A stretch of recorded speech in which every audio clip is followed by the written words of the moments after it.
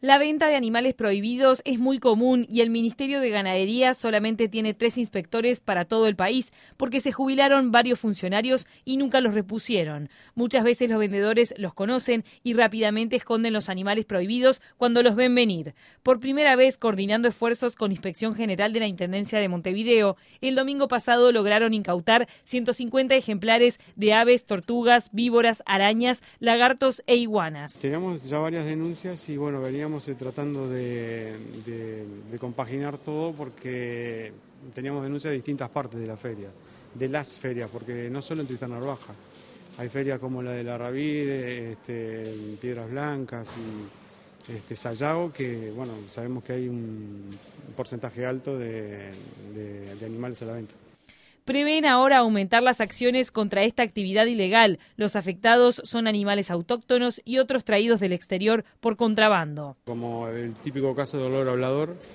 este, que entra en grandes cantidades, este, como pichones los traen, este, en pequeños, pequeños termos y los acondicionan.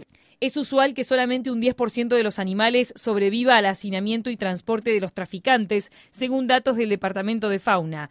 Determinadas especies están protegidas por convenciones internacionales y un decreto de 1996. La única sanción es una multa que puede llegar a 1.400.000 pesos, pero los responsables rara vez la pagan y además vuelven a delinquir.